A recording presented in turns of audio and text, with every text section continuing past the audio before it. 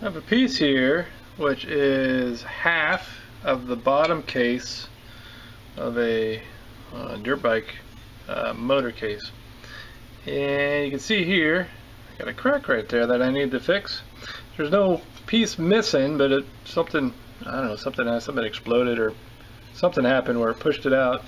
Somebody has tried to fix it with putting maybe a JB Weld or some body filler right there. Um, what I got to do is I got to get in there and clean it, uh, grind a little bit out, put a weld on there and polish it smooth. So here's the part after blasting it. And it took all the paint off, which is good. Now I can see the patch. This looks like, kind of looks like JB Weld. But what I need to do is something a little bit more aggressive to take that off. I'm thinking about using a wire wheel on my, uh, pretty aggressive wire wheel on my angle grinder. Hopefully I get that all taken off and down to where I can see the crack. And then I can dress that and dress it on the inside and get this thing done. So let's see if I can do that.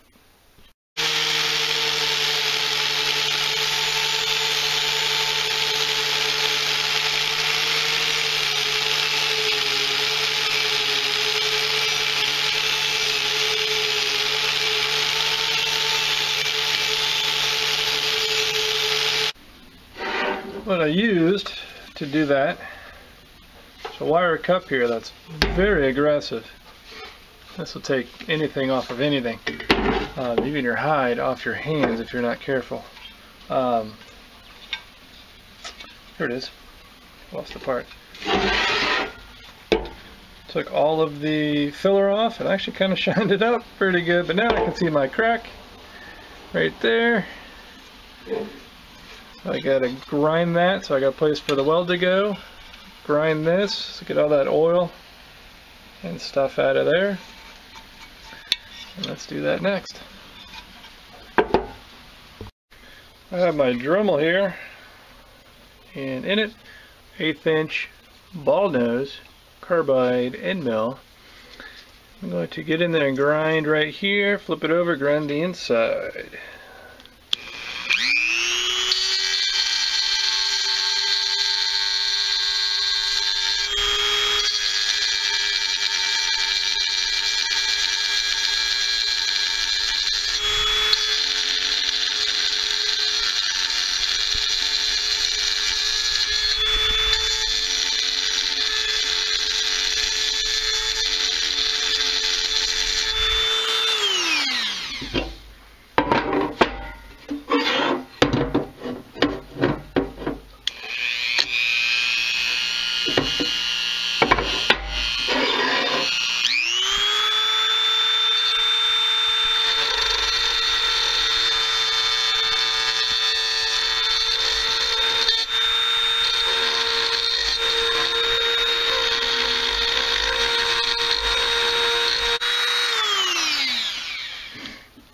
Actually going to be a good channel for my weld to go in. I still got contamination in there. That's on the outside for that weld. You can totally see the crack and the contamination. I'm going to hit with some cleaner. Hopefully that'll get all the oil and, and grime out. And uh, then weld it. We'll see how it goes. Using some finish line speed degreaser. It's actually bike stuff but it works good on just about everything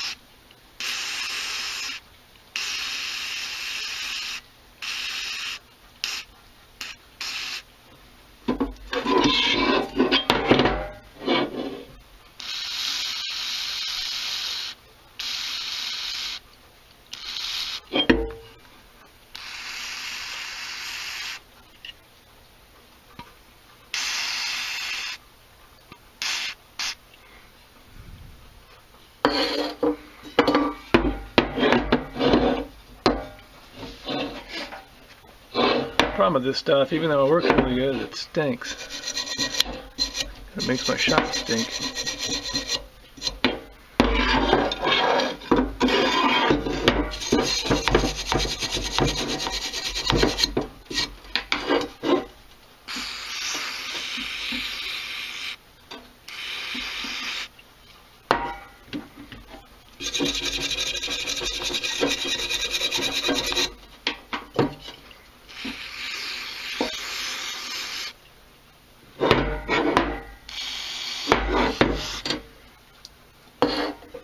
Alright, we'll let that dry and then we'll, uh, we'll weld it. I just preheated this part. It's my heat gun here, and this seems to work pretty well.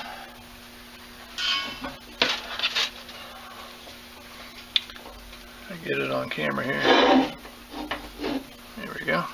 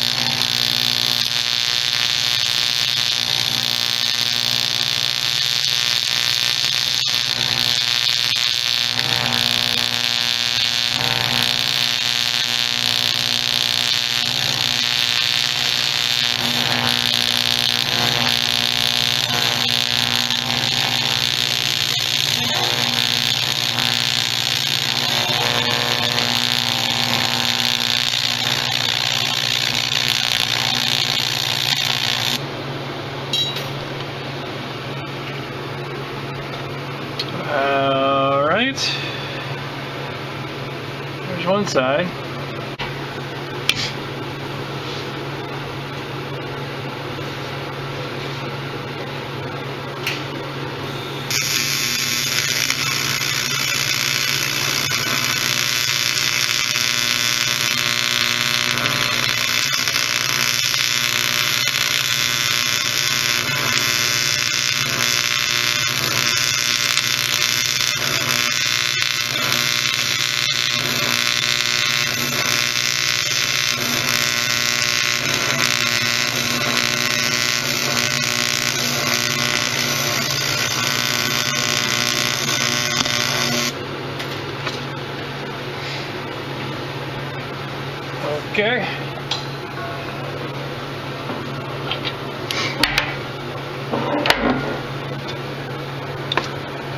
See, that little bit is welded on the inside. I got it welded on the outside. Might need to do touch one weld right on here. There's a little low spot right there. Let's see if I can get that real quick. Whoops. Alright.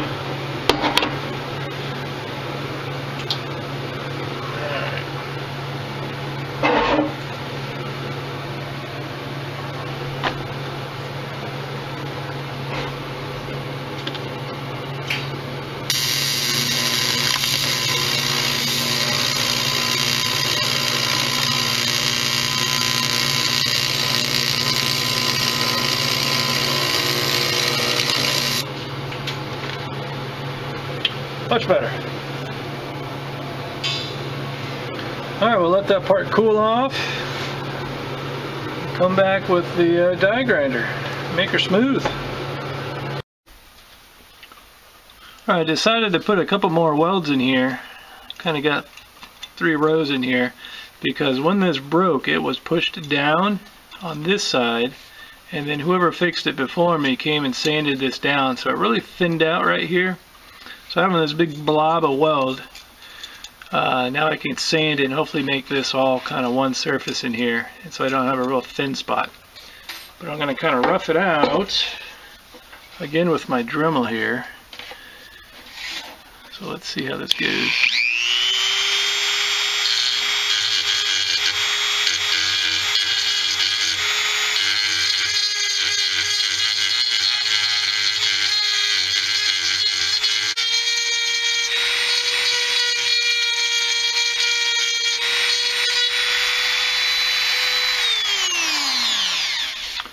Getting it pretty good. A little bit more, gotta do the back. I don't think this surface is too critical. This one is though, where they where the other half meets. So I need to make sure that's really flat. Um, but I think this is clearance just for the crank that's going to be in here. Uh, but we want that nice and smooth. So I'll do a little bit more than uh, get my die grinder and polish it up.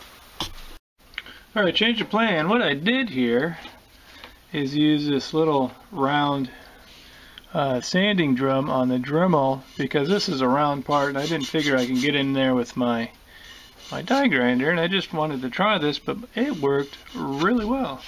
Um, that is nice and smooth.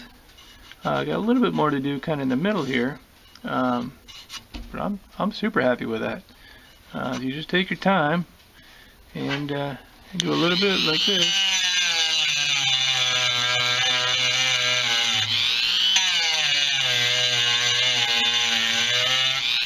Just kind of work it down where you want it.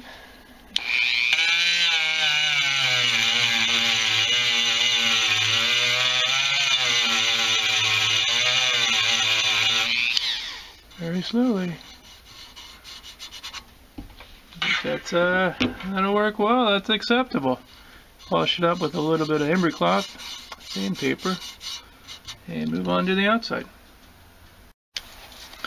So I hit it with some 150 grit sandpaper here, just to polish it off and hit all the, the highs down. I'm kind of get it in this round shape here. I think it's just about perfect. I think I can do any better than that. Alright, I got my carbide back in my Dremel. And again, what I'm going to do is hit all the highs off of this. And I'll come back with my little sanding drum. But this is nice because it's on the outside of the curve, so maybe for the final dressing I can hit it with a file or something. But let's uh, let's do this right here.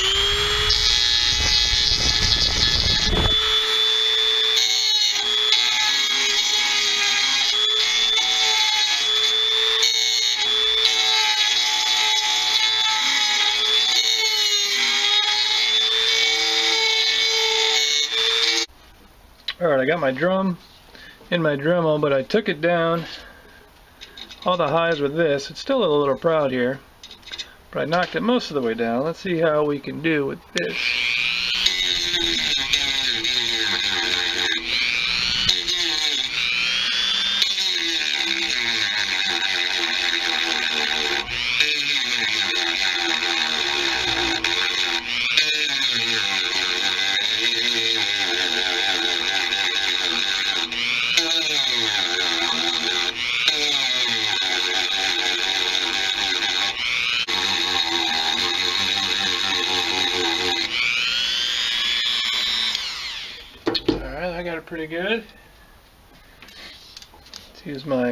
Die grinder here.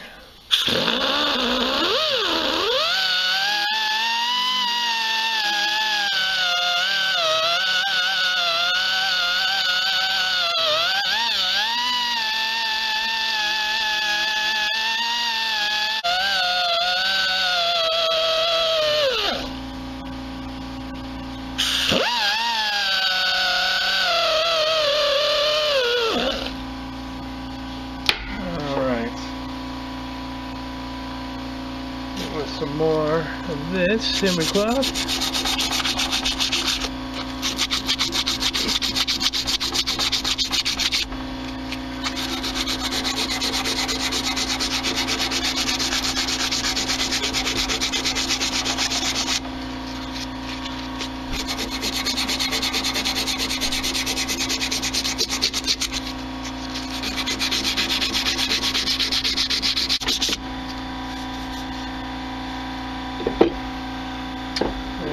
go.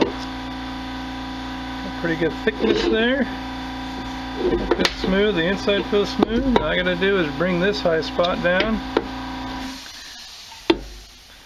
And then we're done. Alright, now I got my file here.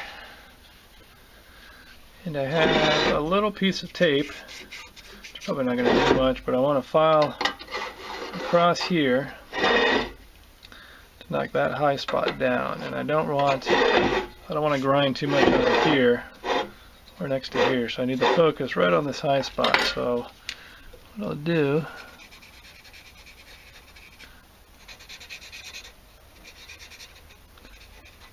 those black. Need a better pin here. So I can see if I'm hitting it or not.